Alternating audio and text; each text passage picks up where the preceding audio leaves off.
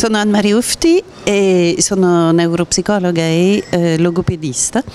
e ho presentato eh, la, il disturbo eh, sociocomunicativo o pragmatico con le caratteristiche eh, indicate dal DSM eh, quinto dal 2013 come nuova diagnosi.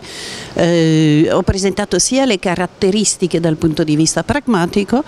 che eh, le difficoltà legate a questa diagnosi per quanto riguarda in particolare eh, il rischio di overlap con il disturbo autistico